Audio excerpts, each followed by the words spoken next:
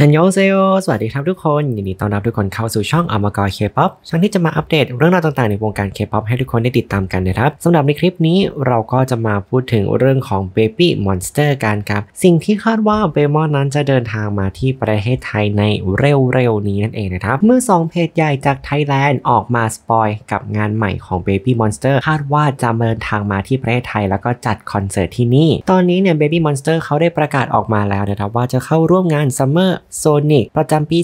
2024 นะครับ เทศกาลดนตรีที่ยิ่งใหญ่ที่สุดในญี่ปุ่นที่โตเกียวนั่นเองในเดือนเมษายนนะครับ ถึงแม้ว่าจะอีกนานหลายเดือน แต่ว่าก็เป็นเรื่องที่แฟนเบมอนเนี่ยคือ ติดตามและรอดีใจมากๆเลยและนอกจากนั้นในตอนนี้ 2 เพจใหญ่นะครับในไทยอย่าง Thaiticketmajor และ Here and There ได้มีการออกมา spoil นะครับของ Thaiticketmajor เนี่ยเขาก็โพสต์รูปเบื้องหลังเนี่ยจะเป็นแบบไฟระยิบระยับ bokeh หนาๆเบลอๆเลยสีแดงดำพร้อมกับข้อความ attention girl group rookie กำลังจะมาไทยแล้ว ซึ่งคำว่า attention นี้เนี่ยก็อยู่ในเพลง Butter Up จาก Baby Monster ด้วยและสีของโปสเตอร์นั้นก็มีความแดงดำคล้ายๆ กับสีของเบมอนด้วยเช่นเดียวกันนะครับ และก็มี Here and There เนี่ยก็ได้โพสต์ไว้นะครับบอกว่าได้ข่าวแววๆว่าเด็กปีศาจเนี่ยจะมาจัดคอนเสิร์ตที่เมืองไทยเร็วๆนี้นั่นเองเตรียมตังรอกันได้ได้เลย แบบนี้ก็ยิ่งแน่ชัดแล้วหรือเปล่าว่าเด็กปีศาจที่หมายถึงก็คือ Baby Monster มาไทยแน่นอนนะครับแต่ยังไม่รู้ว่าจะมาเมื่อไหร่ยังไง แต่ว่าแฟนๆเขานำมาจับโยงกันกับอีกหนึ่งเทศกาลที่จะจัดขึ้นที่ไทยกับ Summer Sonic เช่นเดียวกันนะครับเป็น Summer Sonic Bangkok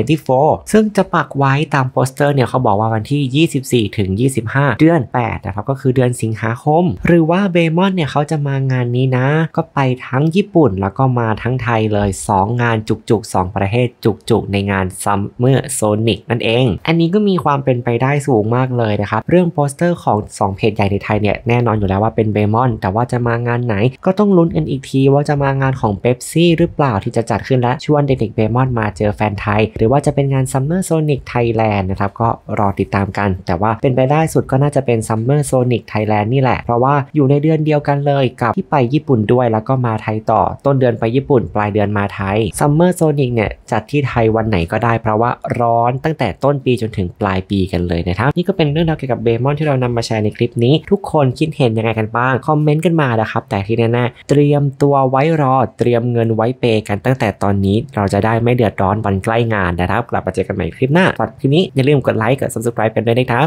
ดีครับ อันยอง